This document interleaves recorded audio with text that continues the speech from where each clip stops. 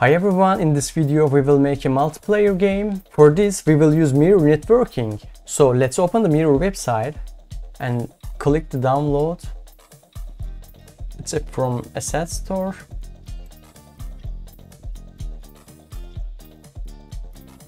So I'm importing it.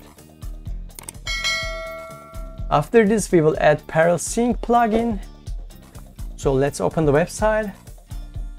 ParrelSync is a Unity editor extension that allows users to test multiplayer game without building to project by having another Unity editor. So that means we don't have to build every time this project, as you can see here. So I will download it from here. I'm importing it. As you can see, there is a ParrelSync tab. In here, we can clone our project and the path of the project and I'm opening it. I will minimize it. Okay, we are ready now. I'm going back to the Mirror website. Okay, in this website we will follow the documentation. Okay, click here and click here. Okay, we will follow these steps. We already added. In part 2, create new scene, save it and add it to the build settings. Okay, let's do it. This is a sample scene, so I add it here. After that, create a new game object, name it Network Manager in the scene, and add these three components, Network Manager, Telepathy Transport, and Network Manager HUD. Okay, let's add it. I'm creating an empty object.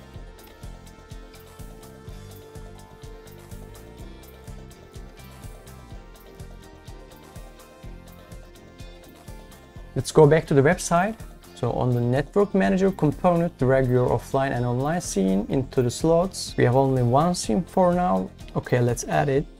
Open the scene folder. In here, I'm dragging my scene. Okay, it's done. So, okay, in the next step, add a simple plane. Okay, let's add it.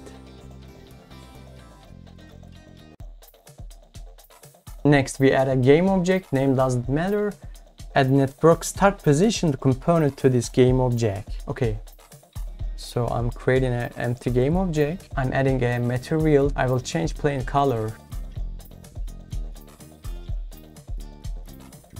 So, okay.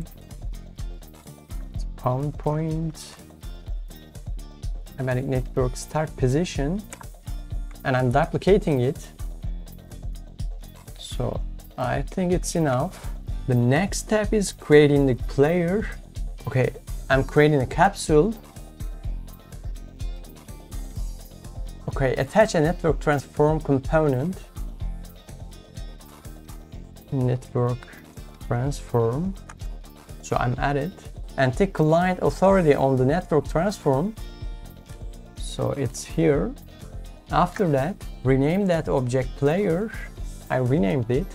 After that, and an empty player script. Player script.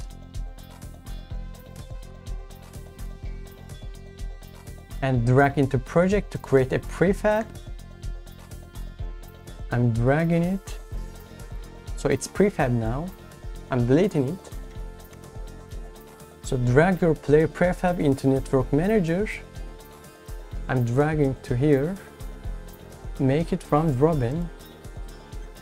Okay, after that, add the following to your player script.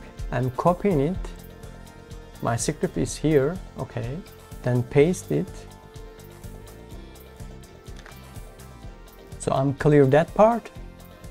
So let's test it. As you can see, our player can move. Let's check with the second project.